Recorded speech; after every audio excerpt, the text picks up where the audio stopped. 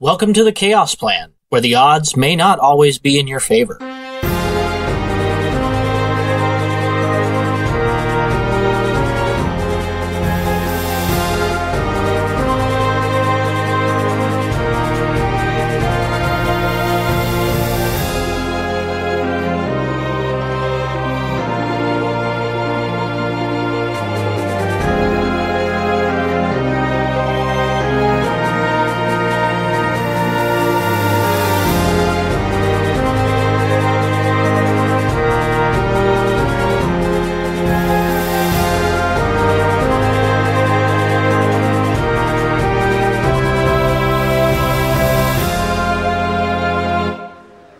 Thank you once again for joining us for another episode of the Chaos Plan. Uh, we are going to be doing my downtime days now uh, with DM Braden helping me out with that.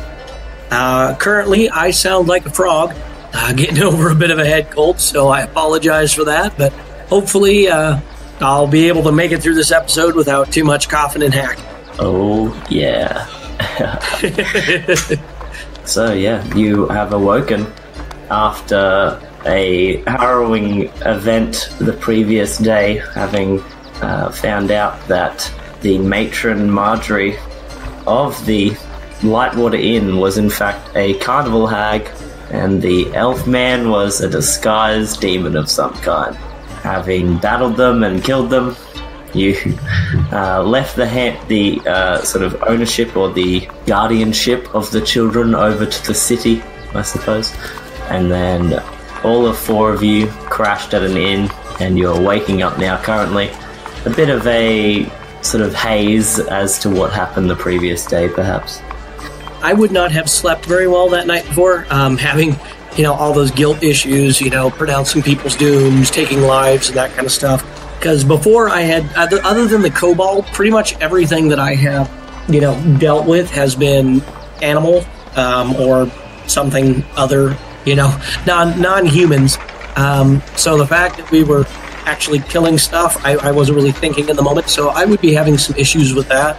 Um, so I would probably want to seek out the temple of the Raven Queen pretty early and just, you know, chat with somebody there and, and deal with some of the guilt. Sure. While some of the others may still be sleeping, and you uh, sort of head out fairly early, uh, having not slept much, you would be sort of awake at an early time, maybe waking up from a scattered sleep around maybe 6 a.m., which is probably normal for you, Bob, as a human being outside of the world of Dungeons and Dragons. Yeah, yeah, I pretty much get up at six every morning regardless. So, yeah, definitely not something that's normal to me, but perhaps to you. Uh, you head your way across town into the Temple District, eventually finding the uh, cellar doors that open up leading down to the staircase, and make your way into the Temple of the Raven Queen. There, uh, within the temple, it's fairly early, so there's definitely not that many people around, but uh, sort of not one that is unfamiliar with darkness or times of night. Uh, you see the drow priestess of the Raven Queen, uh, Matron Salem, who was just standing there doing some morning prayers over the altar and effigy of this uh, thatch statue of the Raven Queen in the center of the temple. Okay, yeah, I would, uh, uh, you know, wait for her to get what get done whatever she was doing. And as soon as I feel I can interrupt or whatever, get her attention, I would, um, and say that I'm I'm in need of some counsel or some some time here at the altar. I'm having difficulty rationalizing, you know, the slaughtering of people and the pronouncing of doom and all of these powers that have been given to me you know I'm, I'm having a hard time with that being i'm not somebody that has had to deal with that before so i would like to spend some time you know at the altar here and commune Of course, yeah. She motions for you to kneel down next to her as uh, you begin telling her this. She sort of nods patiently, listening to uh, all of your uh, worries and uh, concerns that you've had over the past few days. And she she uh, sort of thinks about her words before she says them. She says, uh, "Some people are not long for this world, and it is the natural cycle of death that takes them to the afterlife. But then there are those that walk outside of death, like the being that you are describing to me. And bringing death to them and sending them back to the outer planes is the best circumstance. It may be hard to realize that what you've done is perhaps for the best, but taking lives and issuing out death and doom is a tough thing to get acquainted to, undoubtedly. She just sort of puts a palm on the center of your back and sort of gives you a warm look. Okay, yeah, I would I would take her words to heart and I would probably just sit there in contemplation and meditation until somewhere close to noontime and just, you know, commune and explore these powers and and try and really rationalize and internalize. And I, have been playing around with the mask a little bit, you know. Um, and so when I really want to disassociate, um, like what the Harlequin says in the class stuff, um, I would be wearing the mask. But when I want to be Bob and I want to, to deal with all of this as a person, I would take the mask off. So right now I would not be wearing the mask. I would be dealing with this as Bob, as opposed to, as, you know, Bob from Earth, as opposed to, um, Bob from, from this, you know, Bob the Warlock. So I would yeah. be, you know, I would not have the mask on. And like I said, I'd stay there until probably noonish and then, um, thank the temple and, uh, I would drop um, let's see, I don't have much for them. I would probably drop um, five silver pieces at the altar as an offering and uh, go from there. And should then, you know, head out. Should thank you and um, say, uh, remember, the choice of life and death is often in your own hands, and bringing death to those that live outside its borders is something that is to be proud of. I would I would nod and the my eyes would be a little bit watery, and I'd put my mask on as I go back up the stairs. Uh, and I'm definitely going to be looking for those guys at the uh, Ale Father's Temple to uh, help wash away some of this. hey, dude, want some drink? I, I, would, I would uh, definitely uh, nod my head emphatically and uh, approach the Ale Father's house to have a, a quick, uh, quick carby lunch before finding some real food. Oh yeah, there's like a probably like twenty to thirty people passed out on the steps as you're going up, but all of the clerics of the Ale Father have like you know uh, bandanas on or like pairs of underwear thrown around their head, and they're always like, "Whoa, man! Welcome to That's the fanta- temple." That's fantastic. yeah, I would I would uh, go up to whoever is offering out the holy ale and uh, have a mug. Um, you know, throw it back and then uh, hand it to them in thanks uh, with a silver piece with it, and uh, go from there. And then head out um, to the rest of the city to uh, work on the Tinkers Guild stuff because I think I put that off for too long. Sure. As you're making your way towards the Tinkers Guild, uh, walking through the streets, you see a couple of homeless people sitting down along the edges. you see a man with a metal bucket atop his head and a sort of hessian sack for clothing, just sitting there, sort of rocking back and forth rapidly, speaking under his breath. Huh. I have a bunch of copper pieces I picked up from somewhere, so I would, um, you know, when I see a homeless person that, that actually down on their luck as opposed to there by choice, I would uh, yeah. hand them out uh, a couple copper pieces because I think it's two copper pieces gets you a meal. I think in the player's handbook, something like that, like a real basic something. So I would probably hand out two copper pieces to to them. There's probably like a row of like three or four of them, and as okay. you begin handing them out, they're all very very thankful. Uh, the last one, as you put the money down towards him, uh, he sort of lifts his bucket up off his head and looks at you. His eyes sort of glazed white completely, and he kind of grasps for your hand, shaking violently as he says, uh, "Once the sky is coloured bright." The false prophet shall mark a vicious war and the rise of a new evil. And then he just sort of stops and looks around and kind of grasps the money and is like, oh, uh, thank, thank you. I immediately write that down. I'm like, uh, you're welcome. And then I, I kind of let go of his hand uh, and I, I, write it down very, very quickly. I think I've got um, hey, no, I've got my phone with me. I've got my phone. So I just type it into my phone super quick, um, using up a little bit of the battery life. Uh, type it in the phone so that I have it in the notes section or something. Oh yeah, you pull out your iPhone and begin. Uh, Yeah, real quick typing away. Like, ah, damn, autocorrect. yeah. um, he he kind of looks odd towards it and says, "What of this magic?" and I'm like, uh, it's a it's a magic notation device, and I I show it to him just real quick, show him the screen, and I said, you said this prophetic thing a second ago, and I want to make sure I remember it, so I can type it in here, but it doesn't last very long, and then I'll stealthily click the side button so that it goes dark, and I'm like, oh, that's all the time I have on it for today, and then I put it back in my pocket. He just sort of gives you a nod and slowly lowers his bucket down over his eyes and hunches back into the corner. Okay. Um, then pondering that and really worrying about the new evil uh, that's about to be unleashed, um, I would uh, head towards the Tinkers Guild at, so that I can get that, that electric motor made and my lantern made um, to get me a few more options on things I can do. Awesome. Yeah.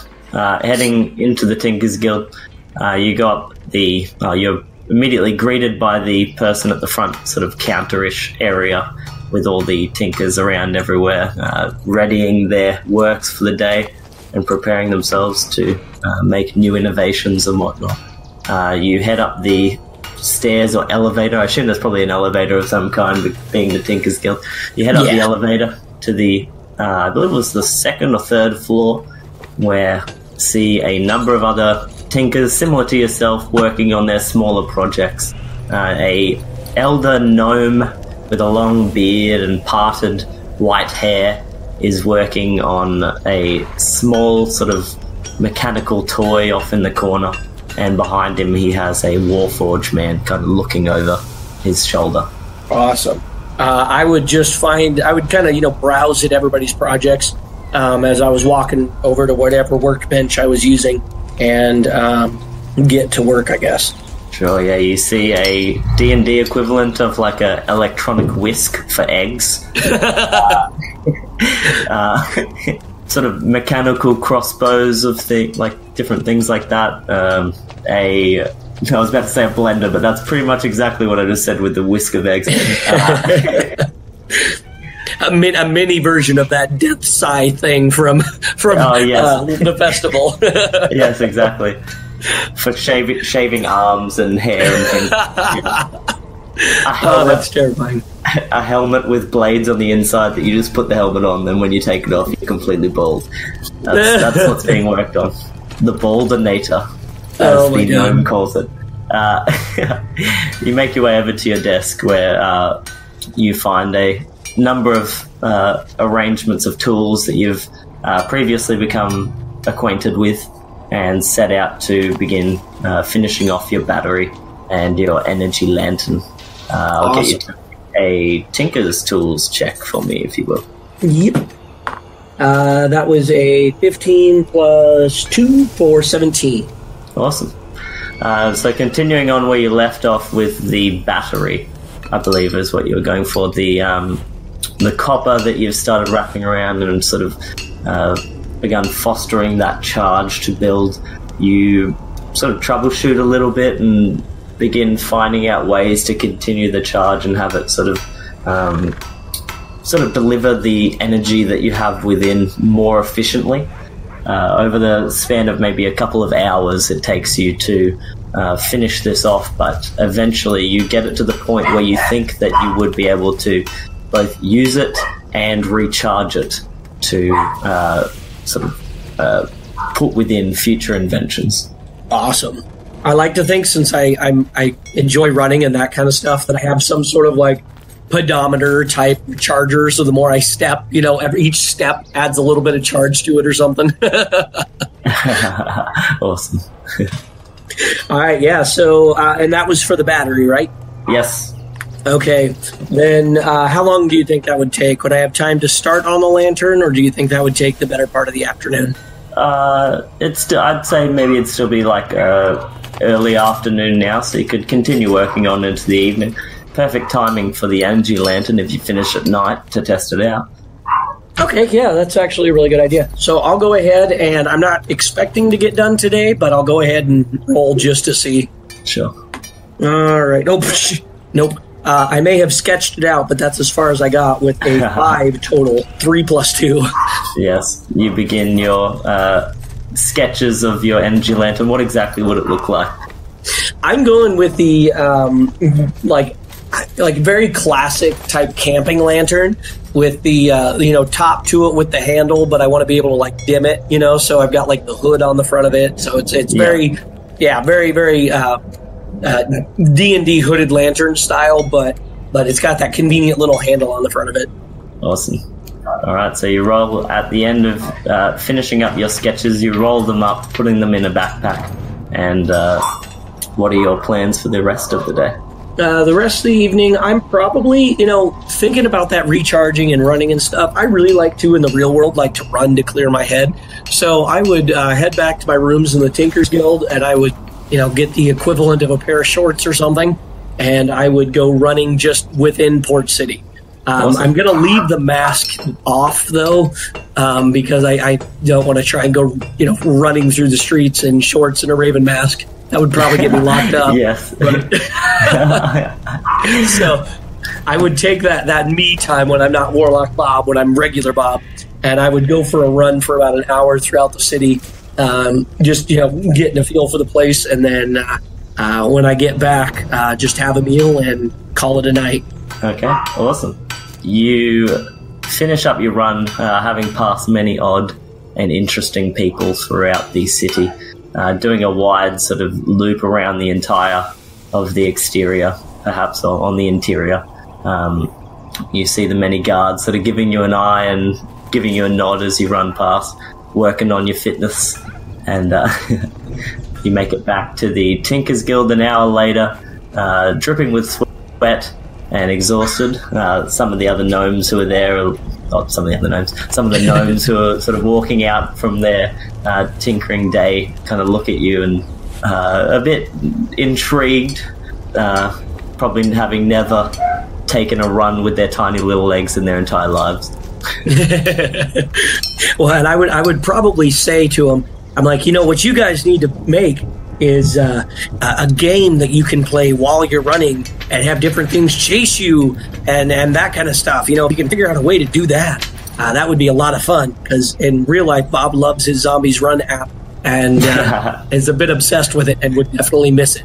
You see some of the gnomes at the front kind of turn their head up and like walk away, but there's one gnome left standing there rubbing a small beard, just like, Oh, that's fantastic. he's going to turn into a necromancer and have real zombies chasing him. Yeah. Oh my god, that's fantastic. Yes. Oh lord. Yeah, no, then I would just head upstairs, wash up, and uh, grab some food and call it a night. All right. The evening's rest comes to you a little easier, perhaps, than the previous. Uh, you have more dreams of ravens flying upon a darkened horizon, with this dark citadel sitting atop a, a rocky crag, and eventually you wake up in the morning, uh, feeling rather fresh and having a feeling that perhaps your sleep was influenced a little. Mm, yeah, just Yeah. influenced a little, not maybe put put at ease, perhaps with your uh, previous dealings. Yeah, I would be a little bit worried about that, but I wouldn't concern myself too much. A good night's sleep is a good night's sleep, regardless of the influence, you know? Um, I would, first thing in the morning, before doing anything else, because this would be technically we would be breaking right now uh, and, you know, running the game with Cherno uh, on the 19th um, and then on the 20th. But I would do first thing upon waking, uh, or maybe the last thing before I go to sleep last night, one of the two. You gave me that Raven Queen quill that I could, you know, write something down to the Raven Queen and possibly get a response. Um, yes. I would write down with that quill the prophetic deal that the guy said about the new evil coming, uh, and I would write that down um, on a piece of parchment and say, uh, "Some," I said, I would say, uh, "A person told me this while I was walking through the street. Does it mean anything to you?" Uh, and I would do that either like last thing before I go to sleep or first thing upon waking. Okay, just roll a d20. Oh God! First natural one of the night. Uh, uh, you write it in the book before you head to sleep, and as you awaken, you turn back the pages looking to the text that you wrote. And uh, the text is still there, but there doesn't seem to be any response. oh well, I'll come back and check it later on. Okay. All right, yeah. Then uh, we'll skip 19th and 20th, and then this would be morning of the 21st. All right. So then, yeah, 21st of planting. Um, upon waking up, I'd grab a quick meal, and then my only real objective for the day would be to finish the lantern because I obviously didn't have time the last two days to do it. So, heading up, finishing your meal, and heading straight into the workshop, you were among the first in there, and you get immediately to work. I'll get you to make another Tinker's Tool check, but you can do so with advantage. Oh, thank goodness. Last thing I need is another nat one. Oh, good thing, too, because that was five, and that was a 13 plus two for 15. All right. So, uh, spending the majority of the day sort of tinkering and working on this, you begin attaching small little flaps to the front of the lantern, get the basic sort of structure down, and towards the end, you finally, slowly and meticulously, begin putting the power charge and battery that you have created into this object. You feel a sudden spark shoot through your fingers as you place the battery in it. Quickly uh, vaulting back, you look and you see a small connection being made with some electricity sort of rapidly moving through that suddenly courses into the lantern and a bright light suddenly shoots out across the room. Yay! I would, of course, because I'm that kind of a guy. Whenever I test a flashlight, I make sure that I'm pointing it in my eyes before I test it. So, uh, yeah, I would definitely look directly into the beam of light and then blink my eyes several times, realizing that was stupid, and uh, uh, go from there, you know, jumping with joy. Awesome, yeah. Uh, I'd say it's probably mid late afternoon, so the uh, sky is beginning to darken. But as you're holding it out, everyone's pretty amazed, looking around you. Uh, it's definitely bright, very very bright. Uh, I believe if you wanted to try and overcharge it, you could attempt to blind the whole room. I probably could, but I think in a room full of this many other deadly inventions, like the Baldinator, everybody being uh, blind Yes. would not be a good idea. Everyone's vision glazes over, and when they when they get their vision back, everyone's got no hair. How the hell did that happen? I don't know.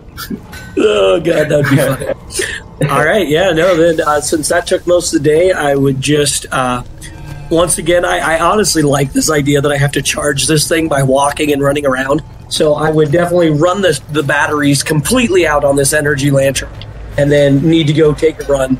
So then I would um, go for a run and uh, grab a bite to eat. Uh, same same routine as last time. All right. As you are running, I'll get you to roll a d20 for me. All right, a five. I am rolling low today. So you see a very, very tall. Uh, wonder. Oh, you'd know this being Bob. Uh, a very, very tall, probably like close to eight foot tall, uh, firbolg man who is just sort of looking through a book as he's walking in front of you. You're kind of running or walking on the same direction as he is. Or he's walking, you're running, and you watch as he's flipping through this uh, this book. It's sort of bound and looks like a gilded tome almost. His sort of head uh, retracts backward a bit as he lets the tome go flying, and it kind of like uh, falls down onto the ground and flips open, and some of the pages begin like rifling through on their own. really weird. I would, yeah, upon seeing it fall, I'd be like, oh, well, you, you okay? You need some help? And I'd slow down, you know, to get kind of close to him. I wouldn't touch the book, but I would definitely see what's going on. He's like, Oh, I don't know exactly what's going on here. I. I was just looking through my spells for tomorrow and. I. Something appears to be in my book. Something is in your book? It was like the ink began like dripping off the pages or something. I'm really new to this magic stuff. Uh, is this meant to happen? I'm very new to magic, period, but I'm not sure. Uh, can I roll an intelligence check and see if I remember anything like that? Sure, give us an arcana check. Uh, oh my god. With a whole plus zero, that is a three. Oh wow, These yeah. dice, I'm retiring this dice. This d20 is going away. You do not know of anything of such a thing. Thinking back over all the games you DM'd in the real world, you're not sure whether you used anything like this or you saw anything like this in the uh, player's handbook or the monster manual, as per se. Yeah, I'm, I'm racking my brain in real life. I honestly can't think of anything off the top of my head. You watch the pages continue flipping, and you see some of those sort of little blobs of ink begin lifting out of the words and like traveling down the central uh, center sort of seam of the book, and then like pooling into like this small little uh, sort of oozy thing at the base of the book itself. Crazy. Okay, um, and I'm I'm completely unarmored right now, having been running in, like I said, just a pair of shorts. But I would uh, summon my glaive um, and call my raven to me. I'm sure it wouldn't be too far away. But I would summon my glaive in one hand and um, my raven and uh, just kind of be wary. I would probably try to actually shut the book with my glaive. You know, kind of get the blade underneath of it and flip it closed. Oh yeah. Nothing says nothing says battle ready like a pair of shorts and a glaive. exactly.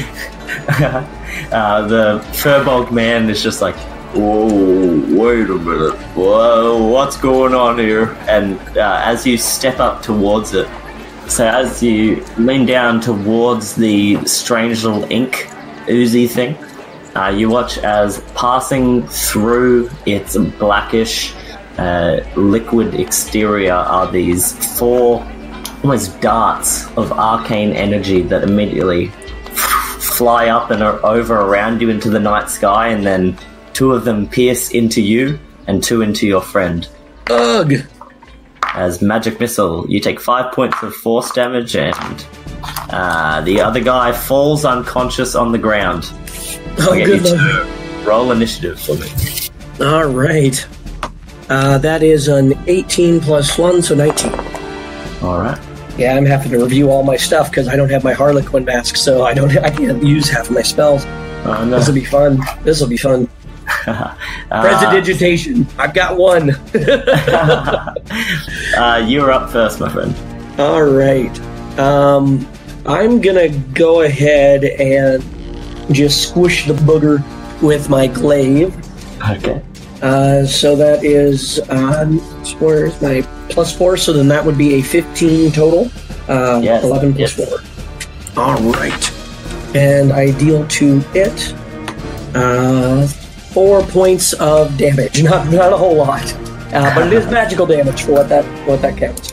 Okay, awesome. So as you strike down into it, uh, you see some of the ink within the pages of the book itself almost splatter, as if like a blood splatter had gone away. But the the words almost like suddenly the ink within the words like dissipates rapidly across the page and like splatters. And as I slam down, I'm like, "Damn you, Tom Riddle, and you're a Horcrux."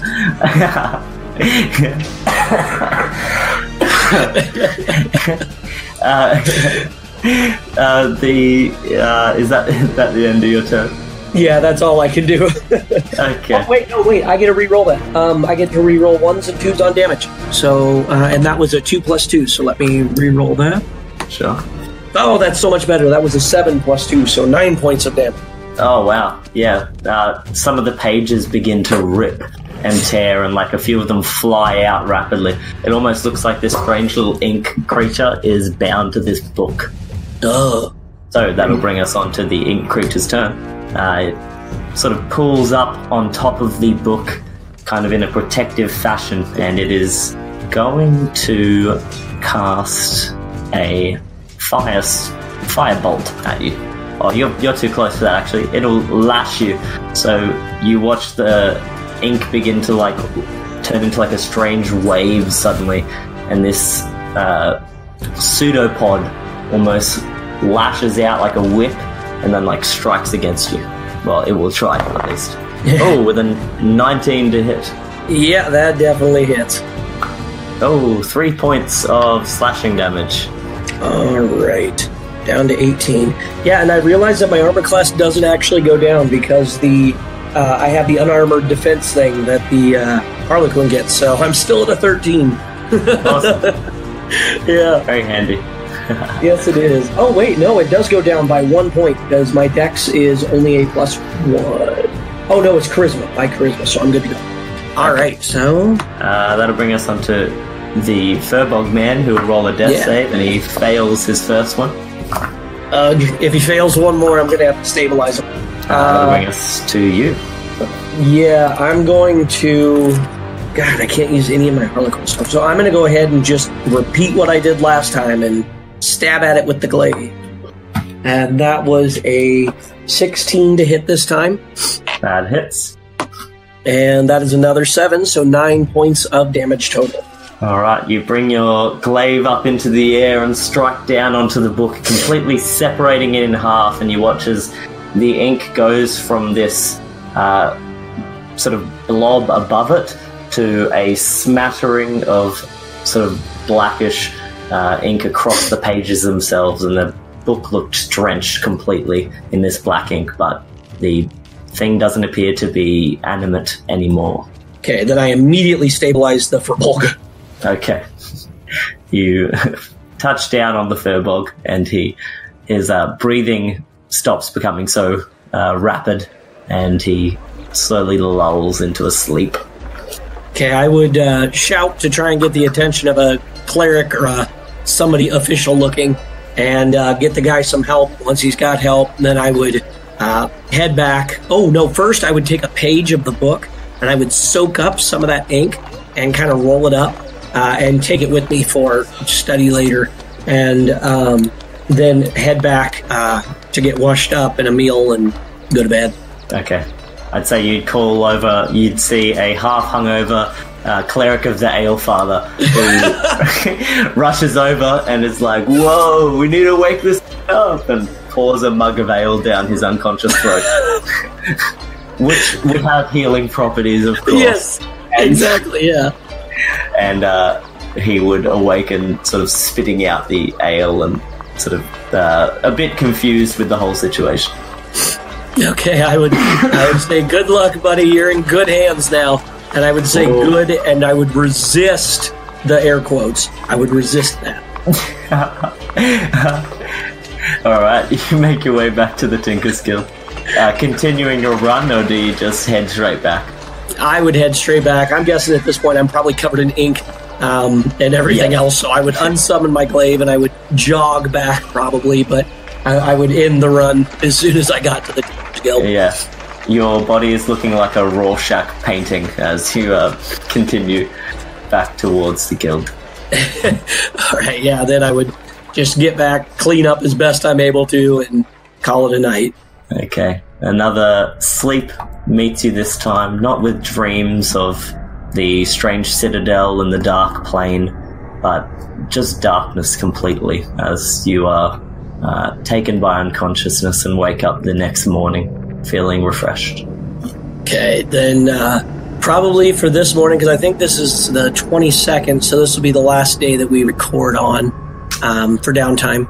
So I would first probably go to the temple and uh, chat with uh, the folks there, you know, do my, you know, pay my homage and all that kind of stuff to the, the Raven Queen, and I, uh, I'm running low on cash a little bit, so I would just drop this time, uh, I would drop a whole gold um, at the temple today um, and pay my respects and all that kind of stuff to the Raven Queen.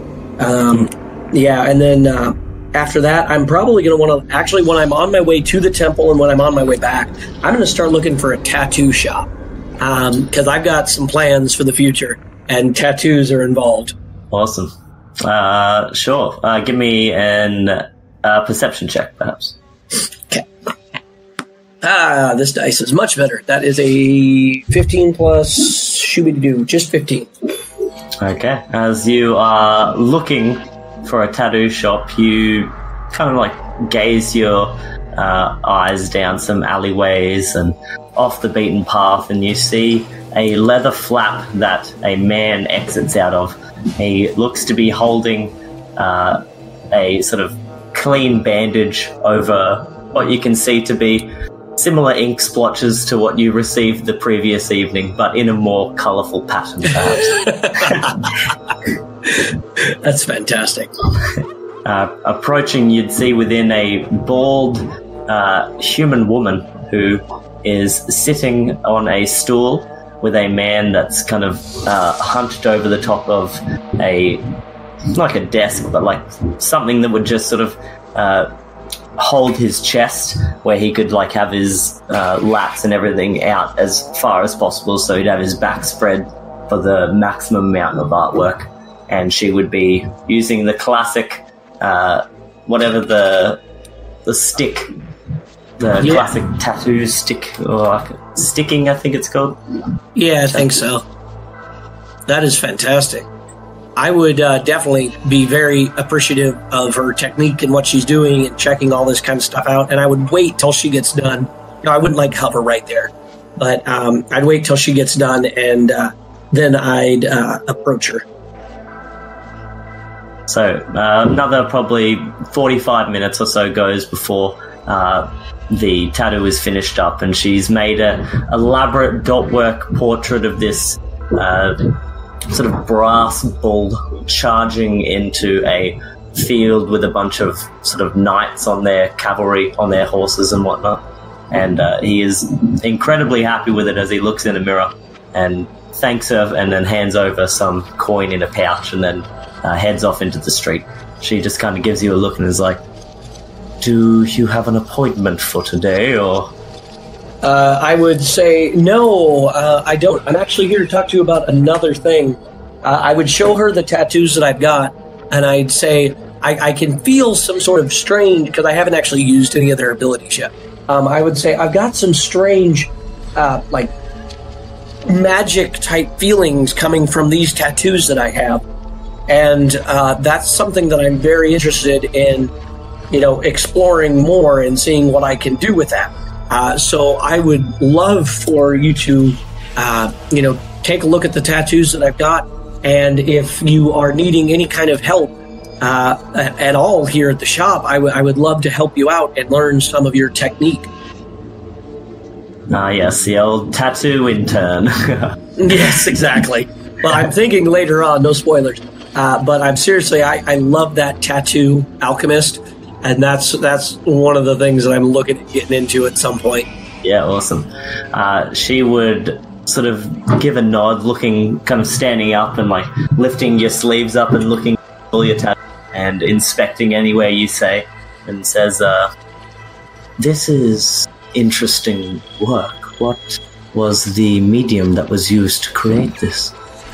I would say um, just standard tattoo ink, but uh, I came through a magic portal thing at some point, and I think it became infused with some sort of magic. It seems like I've been able to, when I'm running, run a lot faster without any more effort. And uh, the last potion that I drank uh, seems to have, you know, done a fantastic job, a lot better than what was expected. And I kind of have a sense of knowing. Oh no, wait, we got rid of that effect, didn't we? The unlocking doors. So um, I just I'm able to run a lot faster without getting tired. And when I do drink potions, they they seem to work a lot better than normal. Warriors do come to me with their heritage, they their culture. They believe that the tattoos do give them power. I have some experience with creating artworks of this nature. If you would assist me, that would be great. I haven't had an intern for 20 years, I'd say. yes, I, I would be more than happy to to help out. And and you know, I'm, I'm not going to you know ask for payment or anything like that. I, I just want to learn some of what you are doing so that you know I can maybe explore with trying to unleash some more potential out of these tattoos that I do have. She kind of gives a nod, sort of putting her hand to her chin and looking over your uh, magical ink a few more seconds. It's like, "Hmm, so long as you allow me to study your artwork a little more, perhaps. Yes, uh, any, any time. She gives another nod and says, um, perhaps in a week time we can start our lessons and you can allow me perhaps 20 or so minutes to give a more detailed look over what exactly is happening within the ink that is in your skin. Uh, yeah, I will return in a week. Thank you. She kind of motions over your shoulder, and a uh, halfling uh, woman looks barely of age to get a tattoo in the real world, but comes through and uh, derobes herself, sitting down, and you see that from pretty much just below neck to toe is completely tattooed. She kind of gives you a look over the shoulder and a little wink, uh, gets some more work done on her. I, I would blush because it doesn't take much to make me blush. So I would turn bright red and say, "Oh wait, I have a mask on." I would turn bright red under my mask and then uh, walk out the door. before you go, she'd uh, put her hand out to you and say, for a handshake, and say, uh, My name is Batari. What is your name? Uh, my name is Bob. Uh, it's fantastic to meet you.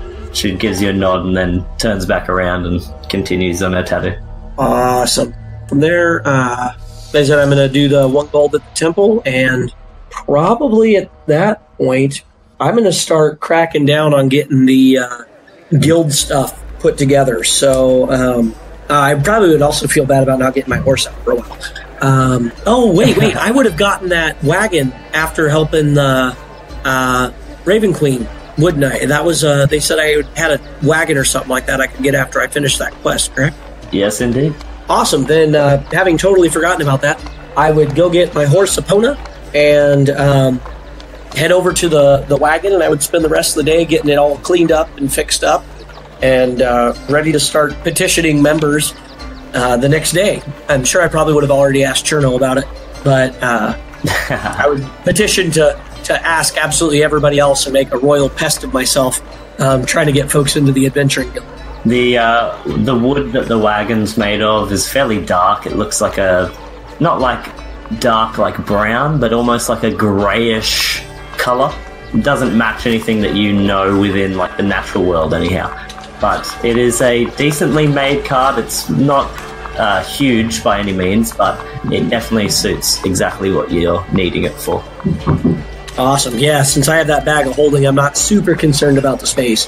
But I would, uh, yeah, start getting it cleaned up and and uh, ready for use as a guild vehicle. So I would um, probably try to find some sort of white paint or something along those lines, and, and as carefully as I'm able to, uh, draw out the Adventuring Guild logo on the side of it with the words Adventuring Guild um, on the side of it. Trying to think of how you could misspell that somehow. Uh, and for, for Olman, oh, not Olman, for uh, Dandabin in the future. yeah, exactly. Uh, I'd say uh, sort of enough paint to coat the outside. It only costs you like two two uh, copper pieces. Oh, awesome. And I won't make you roll for the Adventuring Guild logo. You probably have had enough experience with the Adventuring Guild logo in real life to where you could sufficiently paint it on a exterior of something without much issue. Awesome. Yeah, I would say it definitely doesn't look super artistic by any means, but I figure once we get an actual artist to join the guild, I'll let them redo it. yeah. All right. Uh, yeah, then I would just spend, like I said, the rest of the day doing that. Um, I would get my horse out, take it for a gallop about, and then uh, just head back to the uh, Tinkers Guild later on, go for a run, and call it a night. That would be basically all I wanted to accomplish. Awesome. Take your horse Epona out for maybe perhaps a run with you. Ooh, that's a cool idea. Yeah, uh, holding on to the reins, uh, trotting. You know, it's barely clomping next to me as I uh, as I run. Oh, I would check on the book to see if uh, the Raven Queen ever responded. Okay. Uh, roll me another d20. I'm liking this D20 a lot more. That was a 14. Uh, you see a few splotches of ink, very small, as if someone had held a quill above and is just sort of uh, thinking upon the answer. but the ink has spilled and sort of dropped down a few blotches across the page, but there is no answer currently. All right, I'll just leave the book there, still open, and uh, uh, call it a night and check it tomorrow um, upon waking. All right. All right. Uh, then I think that's about it for this one. Next time we get together, we'll be doing uh, hopefully a group game then. Yeah, perfect. I can't wait. Yeah. Thank you very, very much, Braden, for running uh, through this with me, and uh, hopefully I won't sound as much like a frog tomorrow. Fingers crossed. yeah, exactly. Thank you very much, Braden. Thank you for listening to this episode of The Chaos Plan. If you would like to join the show and help support our podcast, please visit our Patreon page at patreon.com slash adventuring guild. And if you'd like to know more about the show, find our rules, downloads, maps, character sheets, etc., visit our website at www.theadventuringguild.com.